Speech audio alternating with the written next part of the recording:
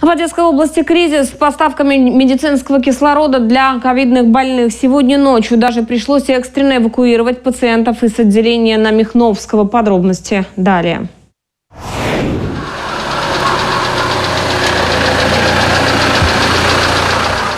Кареты скорой помощи почти всю ночь эвакуируют больных коронавирусом из отделения ковидной больницы на Михновского. Жизнь 43 пациентов под угрозой из-за того, что в резервуаре закончился медицинский кислород.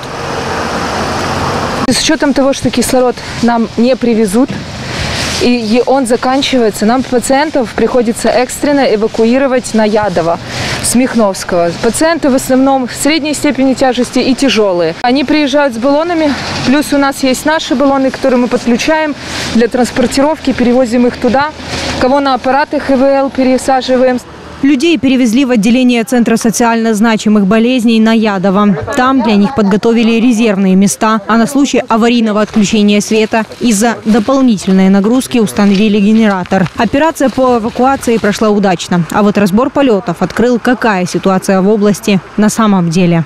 Мы об этом говорим уже несколько дней. Кислород нам доставляют, но очень малых количествах. Он быстро заканчивается, потому что расход кислорода увеличивается. Пациенты крайне тяжелые, им требуется большой объем. Уже на протяжении шести недель у нас идут э, перебои в поставках кислорода туда.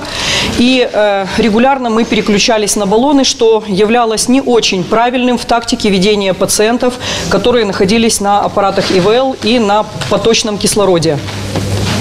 В связи с чем э, мы информировали Департамент здравоохранения еще утром, что у нас кислорода остается до 4 часов дня. И мы начали подготовительную работу, потому что когда нам поставщики уже окончательно сообщили о том, что они не привезут нам кислород, мы начали э, транспортировку пациентов.